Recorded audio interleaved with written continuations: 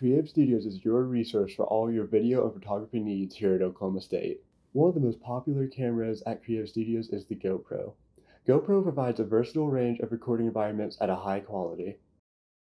The first step to understanding a GoPro is understanding the ports that are available on it.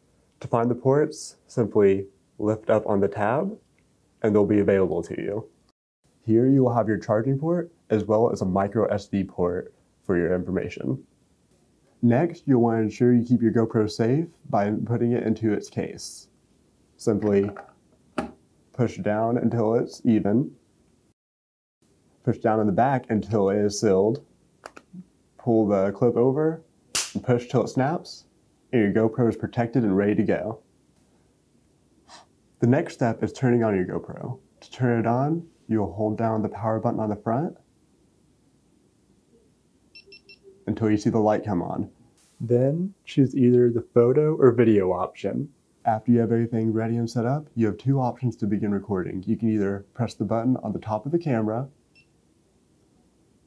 and you'll know it's recording because the red light will be flashing, or you can use the smart remote that comes with your checkout to control it without touching the camera. The variety of shots the GoPro can do is restricted only by the vision of the user. Make sure to utilize the GoPros available at Low Library.